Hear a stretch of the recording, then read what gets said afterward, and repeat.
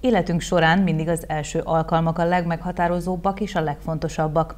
Nem véletlen tehát, hogy szeptember 1-ével az iskolások mellett nagy figyelmet kapnak az óvodát, bölcsödét kezdő csemeték is. A gyerek számára ez körülbelül ugyanolyan terhelés, mint amikor egy szülő vagy egy felnőtt elmegy dolgozni. Tehát ő is itt a közösségben van, ugye a nap nagy részét itt tölti, általában 8-10 órákat bent vannak a gyerekek ebbe a közösségbe.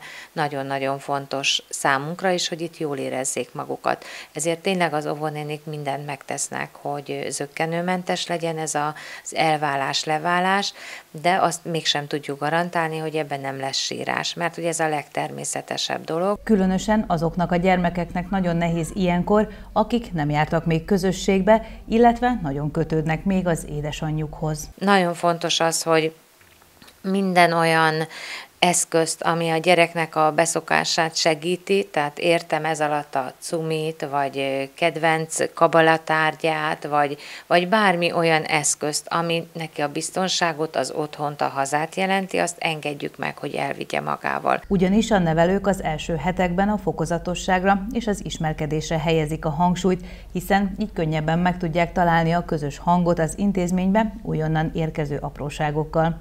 Így van ez a bölcsödében is. Ugye itt itt fontos azt tudni, hogy a gyerekek életkora is változó. Négy hónapos kortól fogadjuk a gyerekeket, és nyilván egy csecsemővel teljesen más a, a beszoktatás, meg teljesen más már egy két évessel, vagy egy egy évessel is de itt is a fokozatosságot tartjuk szem előtt. Mindig az édesanyja mutatja meg először és be a bölcsödébe, hogy ő hogyan végzi ezeket a műveleteket, a gondozásit és az étkezéstől kezdve minden. Az úgynevezett beszoktatás általában kettő héten keresztül tart, de a gyermekek igényeihez alkalmazkodva természetesen lehet ez az időszak hosszabb és rövidebb is egyaránt.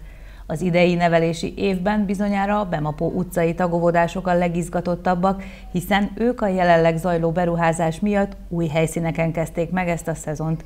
Jó hír számukra, hogy a tervek szerint az őszi szünet után már a szép új környezetben folytathatják a munkát és a játékot.